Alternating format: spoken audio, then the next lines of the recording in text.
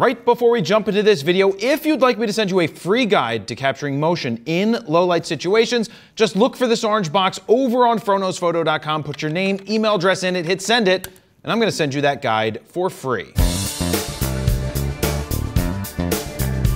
Jared Polin, FroKnows Photo.com. And recently, with all the baseball I've been shooting, I've kind of felt like I'm in a slight photographic rut. I go out to the baseball game and I'm not really sure what I should shoot. I don't exactly have an assignment and I just pitter patter around and I'm not happy with the results that I'm getting. And I know a lot of people out there find themselves in similar situations where you're like, hey, I'm stuck in a rut. How do I get out of it as a photographer? Well, for the Phillies game yesterday, I gave myself an assignment as well as a challenge. The assignment and challenge was this single shot mode. I could only shoot one frame when I pressed the shutter. No motor driving, no spraying and praying, just one shot, and what I get is what I get. So I ended up taking only 70 images across five and a half innings before I got bored and decided to leave the game. And I wanna show you the best of the best images that I got, as well as the not so good images because I want you to see everything that I got. It was only 70 photos. A lot of times when I'm shooting a baseball game, it's 1,000, 1,500 photos or more because sometimes you're shooting at 20, 30 frames a second, or even nowadays 195 frames a second with the R3. So I shot with the Canon R3 out at the Phillies game. Not that the camera really mattered, being that I was shooting just one shot. It's a great challenge to force you to anticipate the action and anticipate the motion uh, and just get one shot. So as you can see here, it's showing 71 images. That's because one of them I turned black and white and still left in color, this Schwarber one right here. But let me go through what I think are my favorite images from the day. They, not, may, they may not be the best of the best with honor, sir, but I think they're close enough. So we've got 18 of 71 selected here. So let's take a look. All right, we got Schwarber running on the field. I got the 85 1 2. I love that lens for separating my subjects from everybody else, and that's why I you know chose this lens. So one shot, you're looking for the right action. You're looking for where is the foot going? Is it is it up? Is it down? You're trying to get that shot. You're anticipating. You're lock on tracking. Now, I guess a, a more fun assignment, or not so much fun assignment, would be Jared shoot manual focus and nothing else.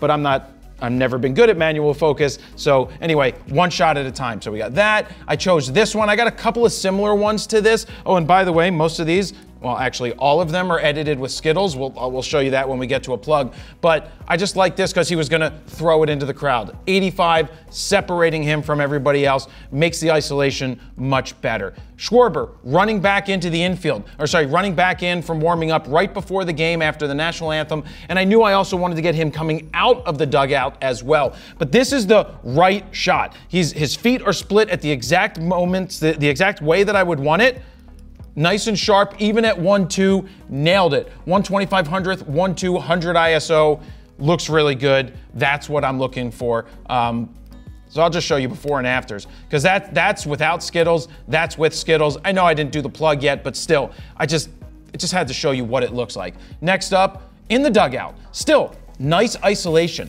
Now, if we had a 135 1.8 or a 135 1.4 or some other speedy glass like that, I think it would be a little tighter, a little better. I could have used the 400, but it would have just been a little too tight for my taste. It probably would have been something along those lines.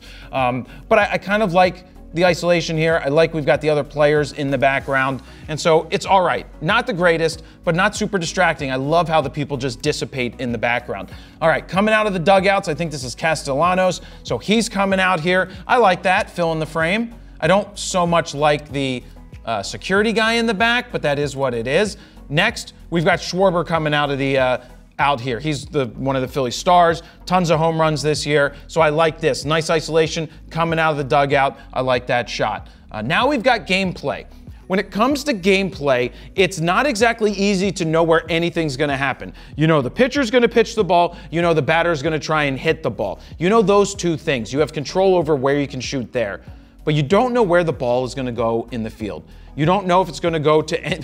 There's nine players out there Plus, you got the batter makes the tenth. You got the umpires. You got you got more people. You you don't know where things are going to go. But you have to think if it's a right-hand batter, he's more than likely going to pull the ball at least to the right-hand side of the field. Sorry, that's a left-handed batter is going to hit it to the right side of the field. The left-hand batter is going to, the right-handed batter is going to hit go go the other way. So you just have to kind of understand the game a little bit. Or when it's three and zero, oh, they're probably not swinging. So don't waste the frame. Don't waste that that shot. Especially when we shot film, you knew like mm, you may not want to shoot at three and zero oh, unless maybe you think they have a green light. Green light means they might get if they see a good pitch, they could hit it. So you just have to try to anticipate where to go. So in this one, I'm locked off on the first baseman and I'm shooting on action. So when I hear the ball get hit, I'm hoping for it coming right to the first baseman. But here he's moving to first base because there was going to be a, a, a, possibility of a double play at second base. Um, which I actually didn't get in focus at second base, but we'll see when I show you the rest of them. So we got this guy hitting the ball, running. It's all right. Not the greatest thing since sliced bread. Went black and white because well, I didn't think the color was that good. Um, it's okay, but it's still good. Now, this was a turning point in the game, a pivotal point, pivotal, a pivotal point in the game because he loses the ball in the sun. So I was on the right player this time, the, the, the second baseman, he couldn't find the ball. So I'm just watching him tracking and I'm waiting for the moment to take the picture. Because I know when I take it, I could keep pressing, you know, take my finger off, press again, blah, blah, blah, but not motor drive. But I didn't want to do that either. I wanted the, the, the one moment. So that's the one moment. So for this next shot, I moved into the inside third base side. It's a really good vantage point for using a 400 on the pitcher. Uh, it's very tight for a 400 on a batter, as you'll see in just a second.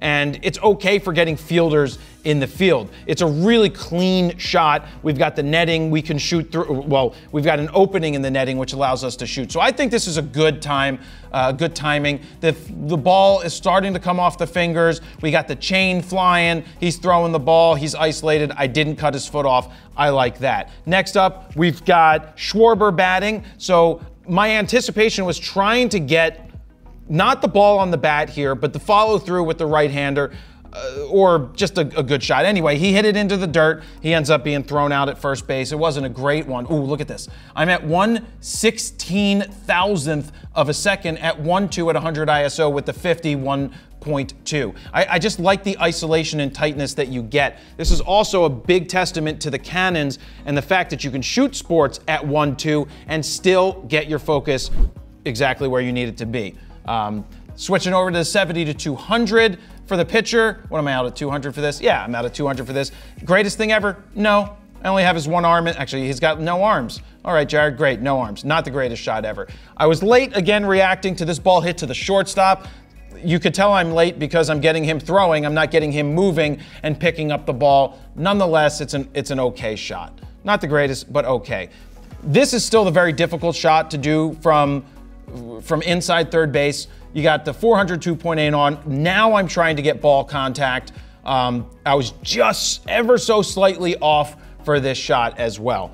Ever so slightly off. Um, now for Stott, I went back to the 70 to 200, zoomed in, we're at 200 millimeters. I think that gives us a good frame. Now I'm trying to get ball on the bat. I, I, was just a little late on the swing, but we still have the ball in there. I think he fouled that one back and off, just down, down Actually, that's right after he hit it because it didn't hit the ground yet because there's no dirt flying. So that's right before it hit the dirt. Um, now, before I was leaving, I like this vantage point for pitchers. It gives you a cool shot here. Let me show you the next one real fast. It's a cool vantage point. Now, you may be wondering what is this black blob? That is one of the cameras that's behind home plate. Nothing I can do to get rid of that. I kind of like this composition. We've got the ball between home and uh, the pitcher's mound and home. And this one, we've got the, uh, the, the pitcher's hats coming off. I don't understand wearing that thing underneath, but maybe it's for sweat. The second baseman is moving because the Philly is trying to steal second base. I'll show you that photo because it's not the best of the best, but I'll show it to you after that, uh, after this, because it was, you know, these were considered my favorite ones from the game. Let me jump in here real quick because I want to show you FroPack 3 in action on this image right here, starting with Prestige Worldwide. That is a great catch-all for this type of image, followed by Mentos. Then we've got MDMA, We've got King Contrast, which looks really interesting, followed by Eckert, as well as Capone. But for stuff like sports and landscapes and outside images, my go to as of late has been Skittles because that's what Skittles looks like. Now, if you're looking to speed up your raw workflow or give yourself a great starting point on the desktop or in mobile, we created 15 custom Lightroom presets that you could check out right now at froknowsphoto.com slash fropack3. While you're over there, you can play with the sliders to see the befores and the afters. And if you decide to pick them up right now, they are currently on sale. Or if you want to get Skittles as part of FroPack 1, 2, and 3, aka the Triple Play Bundle, you can get the Triple Play Bundle and save even. Now, let's get back to the video. And then the last shot that I favorited was this one. Um, I was locked off on the shortstop, hoping that the ball gets hit to the shortstop. Well, it got hit to him, except the fact that it's his whole body over him. So it's probably about eight feet over his head. Um, it would have been great if he was catching the ball or was going it right into the glove. Then it would have been a good shot. But it's really so much easier to shoot from up here than down on the field. Um, but down on the field is going to give you the best type of action shot because it's just they're bigger. You're underneath the field shooting at field level if you're in the in the first base dugout side because that gives you a really good vantage point down low. Except for those nets. The nets kind of get in the way, but they also protect you in case there's a foul ball. So you're going to get better shots down there. But a lot of it, and if you haven't seen the critique video that I've done with Brad Mangin. There's two of them where he talks about he may lock off on the third baseman the entire game and not get anything. You just don't know when it's going to happen. It's a crapshoot. So I was locked off in the right place here. It's a good shot. I think it looks good. I think Skittles looks good on it because that's the before and that's the after. But let's go through the rest. Let's show you all of the pictures, including not the best of the best. So we're going to uncheck those. Let's go back to the top and just show you. So this one of Schwarber running. Didn't like this one as much because the pole coming out of the top of his head, but loved the 85 with this. And I guess that's all right because you can see the Schwarber name. But I kind of like this where he was running past me. Um, not perfect, not the greatest. So now we've got this, uh, the, the pitcher, he's gonna throw a ball up into the stands. Also, it was tough to go black and white because these Phillies baby blue uh, throwback jerseys are really nice. These are what they used to wear in the 80s. Uh, and, the, and the baby blue, powder blue is beautiful. It's really, it looks really good against the green, so it, it isolates them well. But now it's just picking which one do I like better. So his eyes are in the shade, eh, don't like his face on this one. And here the eyes are not in the shade, it's much better. So yeah, I went with that one. This guy running, not as important as Schwarber running. And then this guy running doesn't have a good look on the face. And I was just a little late and I chopped off his toe ever so slightly. Not ideal. If I didn't do that, if I was tilted or I went a little bit earlier, it would have been a little better. So the whole thing here is you're just trying to anticipate when to take that picture. You're not relying on and and doing bursts. 70 pictures across the game for the half the game that I shot. Uh, this is a horizontal, brings you in a little closer, so it's all right. It's a, it's a crapshoot between these two. Actually, maybe this one might be better because you got Schwarber in it behind him and not Stott or Stubbs or whichever one this guy is, the shortstop. Um, yeah, actually, so yeah, let's switch it out. That one's probably better. That's good. I like this. Black and white, I don't think it works as well, but it, it's pretty good. It's a good pitcher shot, except for the fact his eyes are closed. You might be saying, Jared, why, why did you shoot from the first base side if there's right-handed pitchers? Because I've started every game from the, the third base dugout and wanted to do something different. I wanted to change it up and be on the first base side this time around. Um, when, when you get a batter up there, it's much harder to know when he's going to swing. So a lot of it's dependent on the count, and you're trying to anticipate when they're going to swing. So here, no swing. No, so it wouldn't be a good image. Uh, player in the field, I'm going on contact, right? Trying to take an image. It's not that good, but I love the isolation, but there's no action going on. Went on contact here with the first baseman moving this way, and it was too tight. As you can see, I cut off his foot, cut off the top of his head. He was going to make a play. I think it ended up going foul. Uh, not a great look on the face, but it's just a, you know, not action. This is action moving towards the bag, the base, like we said. This is the one happening at second base. I think this one is not sharp because I think I moved quick and I missed it. So I, I think I went from here and it should have been should have been on like second base or shortstop because that's where the action was happening. Let me just make sure it's the same play. So that's at 119 and 20, and that's 119 and 18 seconds. So yeah, that was two seconds after the one shot. So I quickly rotated and missed it. I just missed it. Out of focus. Or is his foot in focus? Nope. Nope. The bag's not, nope, I don't think anything's in. I think I missed it just ever so slightly out. One of the few that is out of focus. Now, I like this because this was what I was going for. I wasn't going for him missing the pitch, missing the ball. I was going for the follow through because he's a left hander. If I get him just swinging from the left hand side, his head will be down and I'll just get the side of his helmet. So I won't get anything good. So I was waiting for the follow through because that would make for a better image. Uh, it's a better image, except for the fact that the ball's in the catcher's hand and it's a strike. So he missed it. So it's not a. It's like it's like when skateboarders yell at you that if they don't land the the trick, you can't use it. In this case, if the ball's in the pitcher in the catcher's hand, it's not good. Now, if you hit a home run on it, it's a totally different story. And then I figured I would take a picture of him walking back to the dugout after he struck out. Um, first baseman looking the other way on contact. Uh, this guy tipping his hat to the dugout. It's all right, not, not special. Pitcher, no face, no eyes. Uh, Castellanos missing this one. We already saw these. This is just a player running in, in between innings. Nothing special. This one's not as good. Cut his toe off. Don't like the action as much, but like this one much better. Schwarber just waiting. So you're, you're anticipating, and this is where you burn frames because you don't know when it's going to happen. You take the picture, Nothing happens. No good. Boom. Then we got him running to first base. Not great. Uh, not great. Nope. Miss. This is great composition, but it's just the back of the guy's helmet, really. It's really nice at, with the 100, 100 millimeters. It's a really nice frame, nice straight lines. Everything looks good. It's not that incredible of a shot, though. It's not like a showstopper. Good composition, just not a showstopper. This is just a guy just before he's pitching nothing special. Not a good, not a good uh, motion there. Um, another pop up. Just a second late on the infield fly. It wasn't an infield fly, but a, a fly ball inside the infield, so a pop up. And then with stuff like this, you're just anticipating. You're trying to get the bat on the ball. And the closest I got was the first shot. I was just off. Just off. He was a little off too. So I guess he makes contact on this runs him out to first base. You can see the play being made, umps in the way.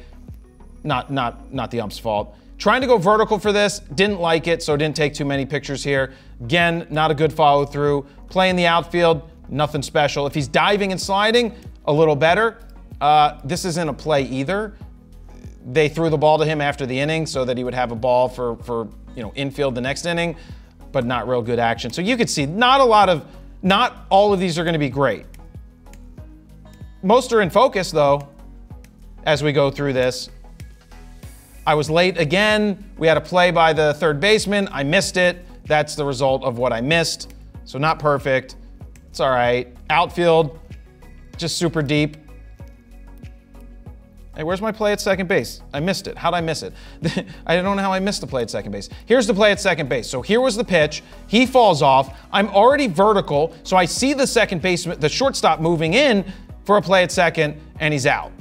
Right? This would have been better horizontal, of course, because then if it was horizontal, I might have had the pitcher falling off to the side, but it's also not super tight at 400 millimeters. So again, not that special. I could have tried some different angles for certain things, and this, so this was just throwing the ball in, and this was throwing the ball, which is right here, into the crowd. 70 pictures.